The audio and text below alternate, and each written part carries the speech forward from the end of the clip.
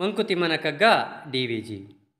ಜಗವೆನ್ನ ಮುದ್ದಿಸದ್ ಅದೇಕೆಂದು ಕೊರಗದಿರು ಮಗು ನೀಂ ಪೆತ್ತರ್ಗೆ ಲೋಕಕ್ಕೆ ಸ್ಪರ್ಧಿ. ಹೆಗಲ ಹೊರೆ ಹುಟ್ಟಿದರ್ಗೆಲ್ಲಂ ಇರುತ್ತಿರೆ ನಿನ್ನ ರಗಳೆ ಆರಿಗೆ ಬಿಡುವೋ ಮಂಕುತಿಮ್ಮ.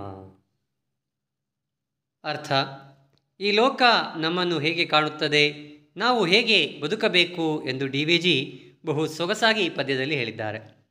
ಈ ಲೋಕದಲ್ಲಿ ಬಾಳುವಾಗ ಈ ಜಗದ ಜನರೆಲ್ಲರೂ ನನ್ನನ್ನು ಪ್ರೀತಿಸಬೇಕು ಎಂದು ಅಪೇಕ್ಷೆ ಪಟ್ಟು ಅದು ಆಗದಿದ್ದಾಗ ನೀನು ಕೊರಗಬೇಡ.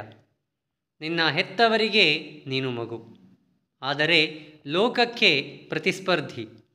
ಹುಟ್ಟಿದವರಿಗೆಲ್ಲ ಅವರವರ ಬಾಳಿನ ಹೊರೆ ಇದ್ದೇ ಇರುತ್ತದೆ.